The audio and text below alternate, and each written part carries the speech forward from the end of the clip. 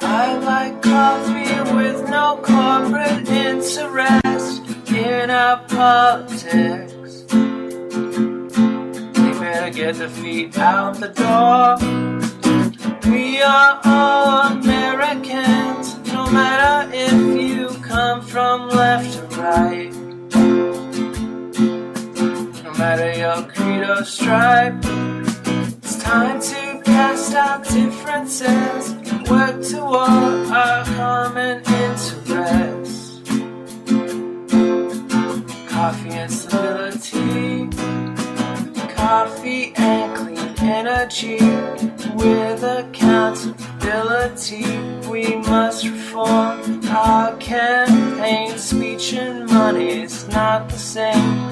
Government that's by the people, not for parties, for the people. An energized electorate views our laws with common sense. Education makes our nation citizens with information.